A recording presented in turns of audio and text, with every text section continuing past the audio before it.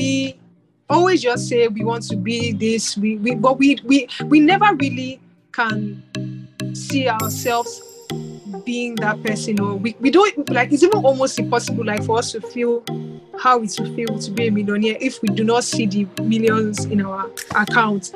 But the truth is that for you to really be that person, you you have to start to see yourself as, as that person. If you do not start to feel like, oh, I'm a supermodel, you're not going to be a supermodel. I mean, even when you become a supermodel, you're not going to be acting like you're going to be acting lesser than it because you don't feel like you deserve it or that you can be that person. So I feel like the first step is you have to visualize and then you have to start to see yourself as the person you dream of being. Amos Madra. Hello and a very warm welcome. I am joined by Karina Goldie, content creator. I've got lots to get through today. I cannot wait to get into this interview. Karina, a warm welcome to you. Thank you for joining Thank us. you. Tell us, uh, Thank you. tell us a bit about yourself. Um, my name is Goldie Karinate. I'm 24 years old. Um, I just turned 24 July 20th. Um, I'm a fashion model and a content creator. I live here in Lagos, Nigeria. It's a beautiful city, although it has its ups and downs, but it's a lovely place to live. And um, I love living in Lagos because every morning when I wake up, I feel the the drive to want to pursue my dreams, to want to be a better version of myself. So yeah, That's that's, a little bit about me. That's wonderful. That's absolutely Yeah. brilliant. And um, you know, um, content creation. You know, it's uh, you know again being creative, coming up with new concepts. Yes. How yes. long have you been doing this for? Is this something that you've always wanted to get into, or is this just a, is it a new thing that you're doing? Well, um, I always wanted to be a fashion model ever since I was a child, ever since I, I could remember, like since I was like eight years old, when I used to watch um, E News, E Entertainment on DSTV.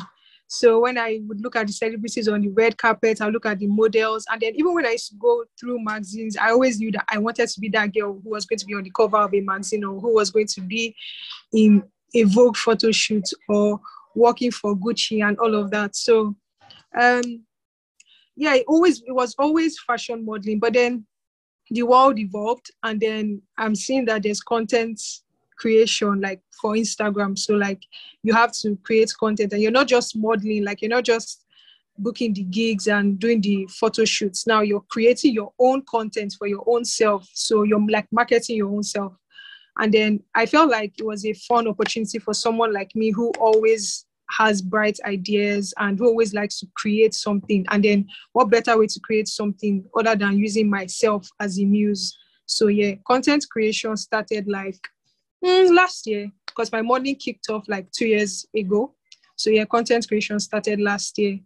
Yes. So And do you like the idea of being in control of the whole process, from thinking about the concept, what it is that you want to produce, um, to uh, making, producing the, con- the the products itself, uh, to getting it out there, collaborating, and you know marketing it? How, do you like every aspect of it? Is there parts of it that you're not Well, so keen on? I- well, to be honest, I actually enjoy every aspect of it. But like, I mean, it comes with so many hassles.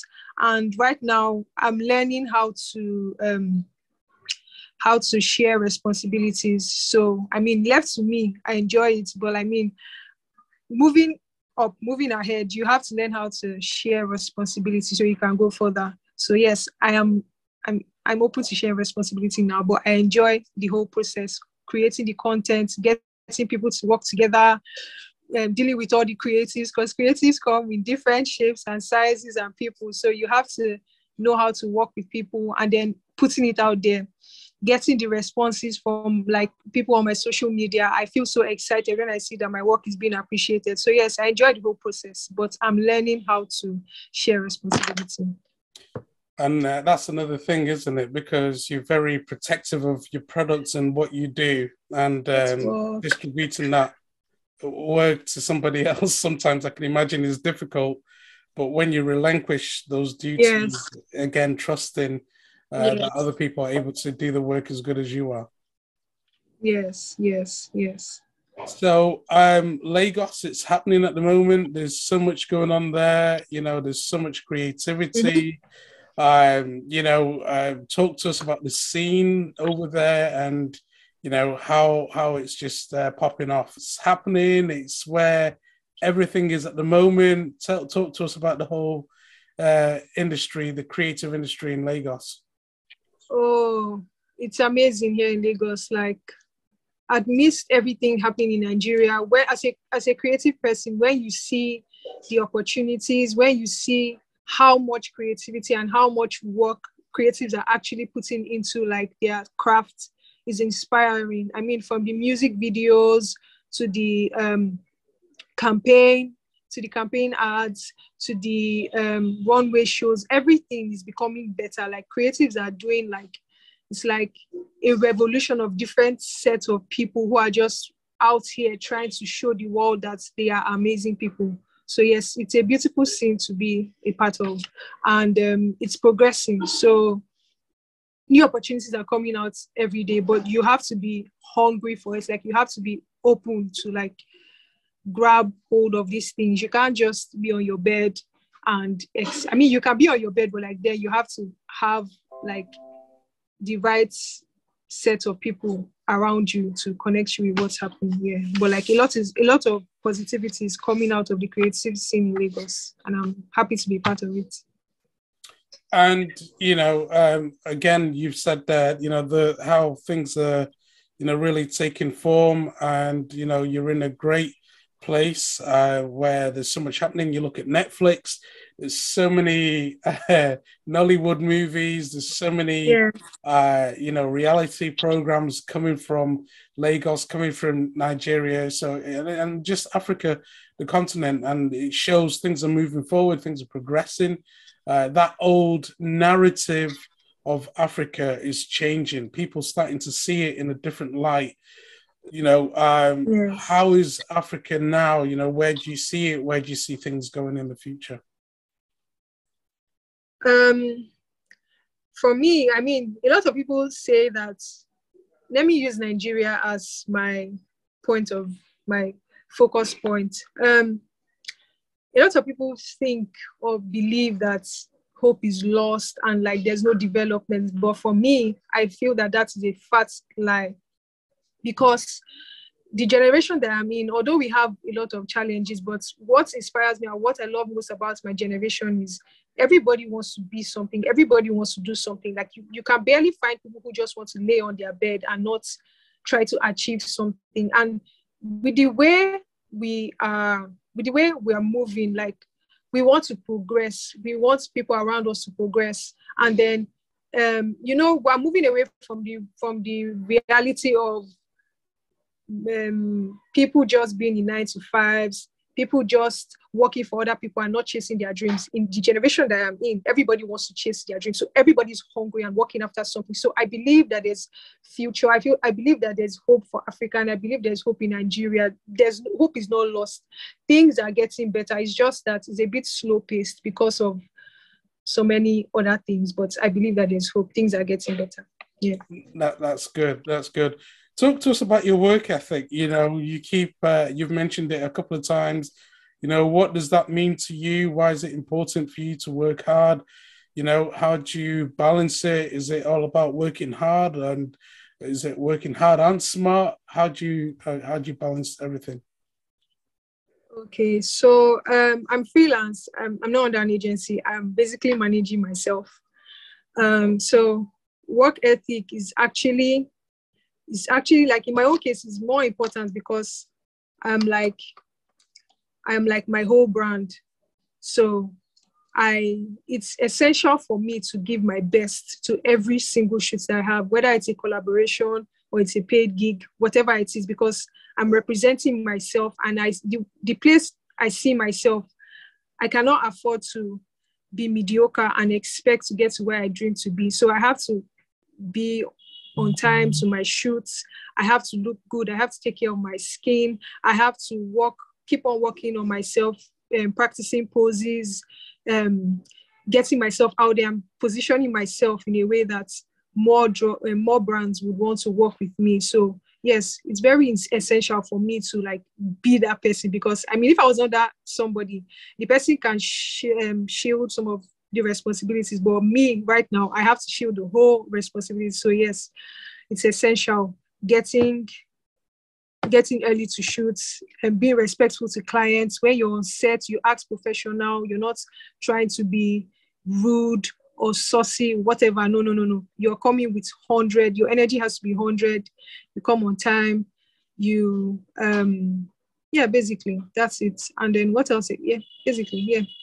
That's good. And, you know, um, I, I, I like what you said there. You know, you really went into detail in terms of everything that you do, your thought process. Talk to us about that. Talk to us about planning, imagination, creativity, you know, you, mm-hmm. you you touched on it there, which I thought was really interesting, and I think that is golden. I think there's so much that we can learn from that.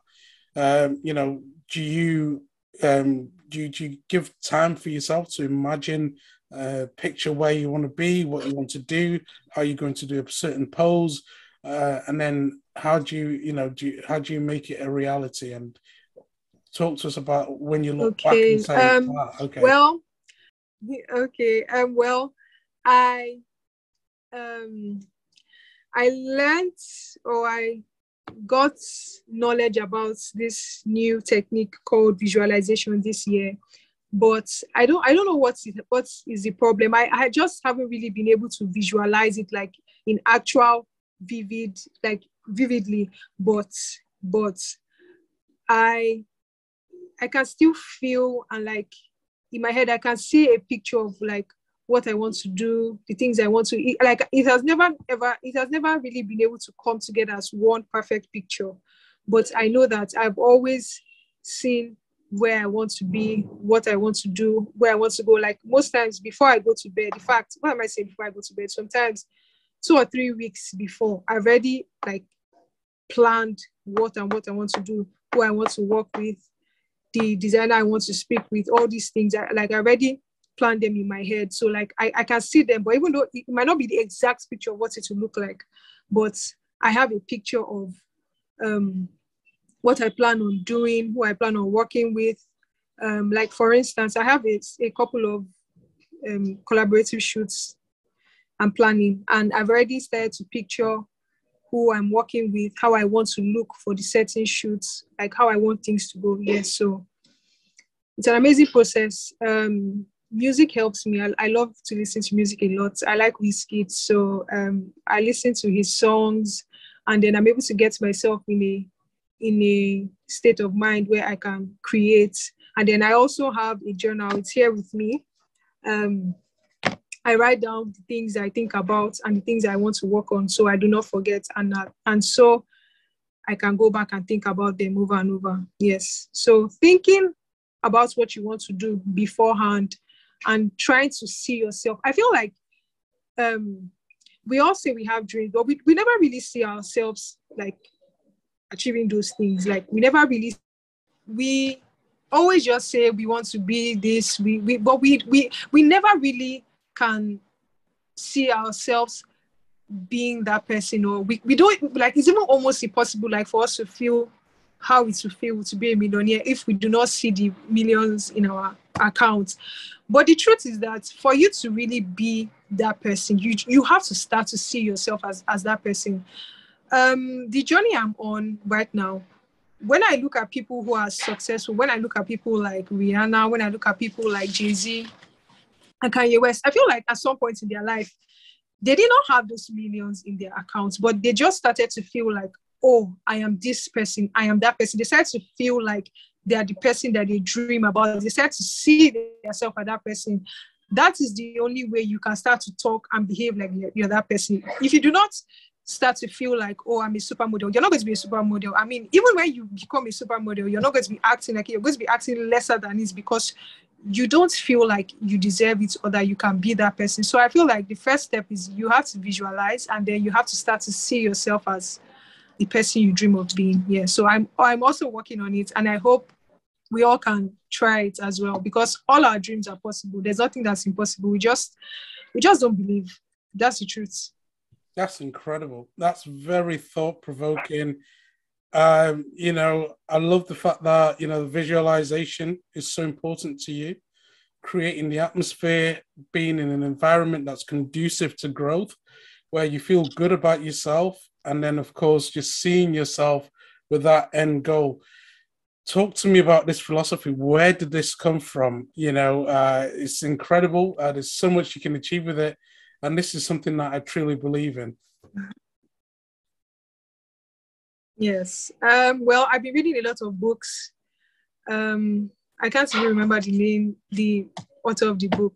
I'll have to check somewhere. But I've been reading a lot of books. I've been reading a lot of articles because I've been on a journey of self growth and self discovery um, ever since I was younger, I knew that I wanted to do great things in myself, but I, I didn't really know how to get everything together. But ever since I got on that journey, ever since I started, I started, and I, I don't know, I feel blessed because the first book I read this year changed my life. I need to remember the name of the book. Success Principles. Yes, that was the name of the book. Success Principles. It's so hilarious. It's so funny that that was the first book that I read. It wasn't a romantic novel it was success principles because and then i feel like how you know how they always say that you are on the right path and that god put you where you are for a reason? It's always like it's a joke but it's not a joke it's, it's reality because like i said why was success principles the first book that i ever read? I could have read something else but god knew that at this time in my life i should be preparing myself to become who I dream of becoming. So I read about success principles. And then the next book I read, Becoming a Better Me. So all these things, they were just in, um, they were just in position to get me ready to become who I dream of becoming. So yes, um, I started reading a lot of books, I started reading a lot of articles, and then a lot of the people that were my mentors, a lot of people that I looked up to, I saw that visualization was a part of their process. So they would see themselves becoming. Oprah always saw herself as who she was. And a lot of other people who I look up to, they've always seen themselves as being who they are now. So I decided to let me just take it on and see how it feel like if I start to just think that, okay, I'm the supermodel, I feel I'm going to be. How will she talk? How will she act? How will she dress? And then you see your life getting better, you start behaving better, you start talking better. So, yes. Incredible, absolutely incredible stuff. You know, um, when I think about, you know, you're very young, but you've, you know, you're you've got wisdom beyond your years, um, and you know, I, I, can only see success for you in the future. You know, with that sort of uh, philosophy Thank and thinking. Um, so, you know, talk to us about the changes you've seen in your own life as a result of applying these these principles? Um, I've seen